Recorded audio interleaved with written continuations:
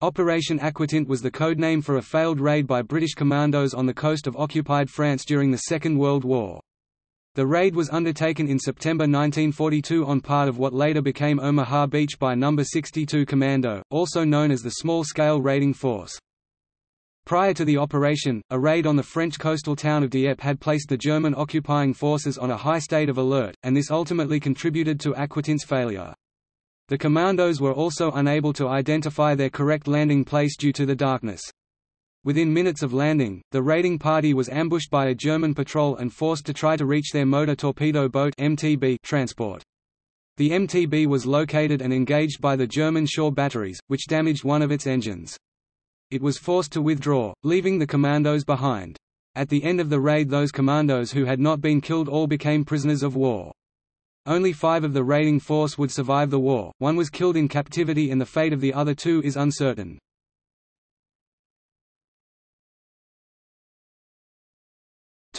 Background Following a request from the Chief of Combined Operations Admiral Louis Mountbatten for probes of German coastal defences, No. 62 Commando, also known as the Small-Scale Raiding Force SSRF, mounted a number of operations in 1942. The first three missions were complete successes, Operation Barricade 14 15 August 1942, Operation Dryad, 2 3 September 1942, and Operation Pound 7 8 September 1942. Aquatint was planned for a night in mid-September 1942 as a reconnaissance mission near Saint-Honorine-des-Perts, a small coastal town near Port-en-Bessin in Normandy. The mission was to collect information about the surrounding area, and take a German guard prisoner.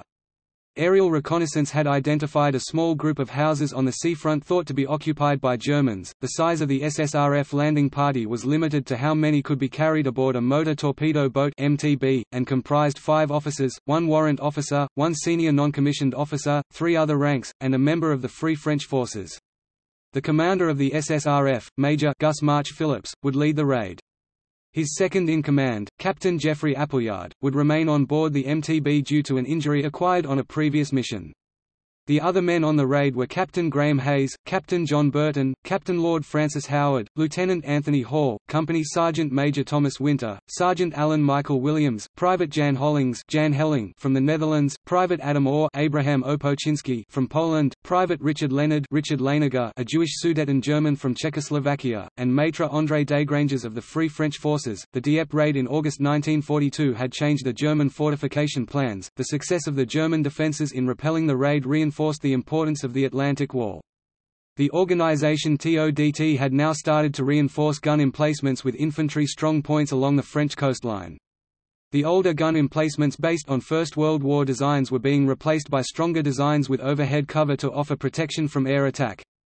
The area of Normandy targeted by Operation Aquatint had yet to receive any concrete gun emplacements but there was a network of coastal artillery batteries able to provide interlocking arcs of fire. German infantry carried out foot patrols in the areas between the batteries.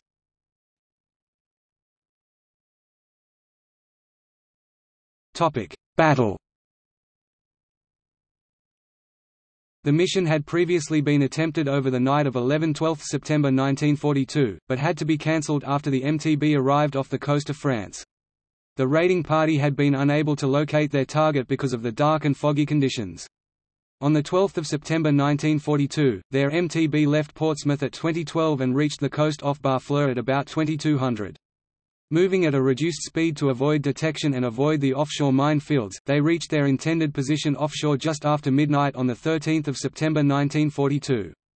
Observing the coastline, in the dark they incorrectly identified a valley which they believed was Saint Honorine, but was actually Saint Laurent-sur-Mer, about one mile to the right of their intended target. At around 020 hours the landing party headed toward the beach in a small collapsible flat-bottomed boat known as a Goatley boat. After reaching the shore they realized they were too close to some houses to leave their boat where it was. They dragged the boat 200 yards 180 meters east away from the houses and above the high water mark. Captain Lord Howard guarded the boat while the rest of the SSRF checked to area to ensure it was safe and they had not been observed landing. On their way back to the beach, they sighted a German patrol of about seven or eight men coming from the direction of the houses, so they took cover. They were discovered by the patrol's guard dog at about 050. The patrol opened fire on them with machine guns and hand grenades. The SSRF managed to disperse the German patrol with return fire and reach the Goatley boat. Captain Lord Howard, who had been left to guard the boat, was wounded trying to refloat the boat, and the others managed to get him aboard. The fight lasted for about 30 minutes. When the German patrol moved forward onto the beach, Lieutenant Hall tried to capture one of the Germans but was himself hit over the head and captured. The SSRF left him behind, presuming he was dead. The men in the Goatley boat had managed to get about 100 yards 91 meters out to sea when it was located and engaged by three machine gun posts above the beach. A gun emplacement to the west also starting firing towards them with heavier caliber guns. The combined fire from four positions damaged the boat, which began to sink. The commandos attempted to swim out to the MTB, which by now had also been discovered and was under fire. Unable to locate it in the darkness, they were forced to swim back to the beach. Winter was fired on again when he reached the beach and was captured. He was taken to the German headquarters where he was put into a room with Captain Lord Howard and Desgranges, who had also been captured. The MTB had withdrawn out of range at about 1.30, but not before it had suffered engine damage, a bullet had disabled the starboard engine. After 10 minutes it moved back inshore hoping to pick up any survivors. It was again located by the Germans at about 2.30. The MTB was forced to withdraw once again under increasingly heavy mortar and machine gun fire. Unable to locate any survivors, it recrossed the German minefield and arrived back in Portsmouth at 10 o'clock.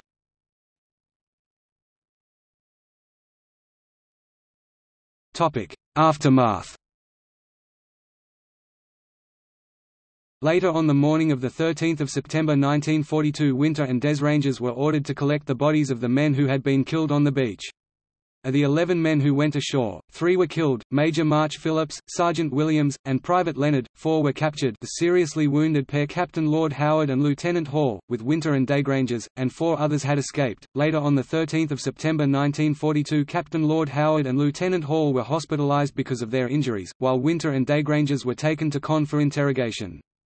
At the time, the Germans were unaware that four commandos—Captain Burton, Privates Hollings and Orr, and Captain Hayes, had managed to evade capture and made it off the beach. On 14 September 1942, the Germans issued a communiqué. A second communiqué on 15 September 1942 read, The bodies of the dead were buried in the Saint-Laurent-sur-Mer cemetery on 15 September 1942. The funeral was only attended by the local German and the French gendarmerie commanders. To prevent anyone else from attending, the Germans had a machine gun set up covering the cemetery. After ten days of questioning, Winter was taken to Rennes, where he was joined three days later by Captain Burton, Hollings, and Orr. These three had managed to stay together when the boat was sunk, and were captured by a German parachute unit carrying out maneuvers. Burton was sent to a prisoner of war camp in Germany, Winter, Hollings and Orr were taken to Frankfurt and handed over to the Gestapo for further questioning, after which Winter was sent to a prisoner of war camp at Memmingen. The fate of Hollings and Orr has never been established. Winter and a Special Air Service officer escaped from the camp in April 1945, disguised as French soldiers. Desgranges was also able to escape from captivity, traveling via Spain to Britain, where he joined the Special Operations Executive SOE. Captain Hayes, unable to reach the MTB, had started swimming away from the shooting, and came ashore beside Asnières en Bessin. He managed to evade capture and made contact with a local French family who provided him with civilian clothing and contacted the French resistance. Hayes was taken by train to Lisieux and after several weeks reached Paris. Hayes was moved along an escape line to the Spanish border, arriving in October 1942. After crossing into Spain he was stopped by Spanish border guards who handed him over to the Germans. Hayes was returned to Paris and imprisoned in Fresnes prison. He was kept in solitary confinement for nine months before being executed by firing squad on 13 July 1943. Hayes had landed in uniform and should have been considered a prisoner of war, but he was executed following the issue of the commando order which called for the execution of all commandos upon capture. It was discovered after the war that Hayes had been betrayed to the Germans, who were aware of all his movements from Normandy to the Spanish border. The persons believed responsible for Hayes' betrayal were never punished, as they convinced the authorities they were acting as double agents. Despite the results of the operation, the SOE and Combined Operations Headquarters believed that the SSRF could still be of use, and ensured that it was not dissolved.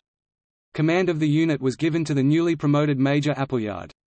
At the end of 1942, most of SSRF were moved to Algeria and absorbed into the 2nd Special Air Service Regiment.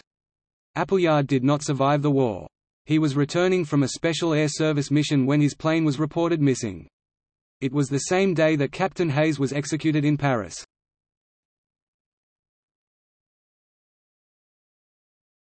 Topic Notes Footnotes Citations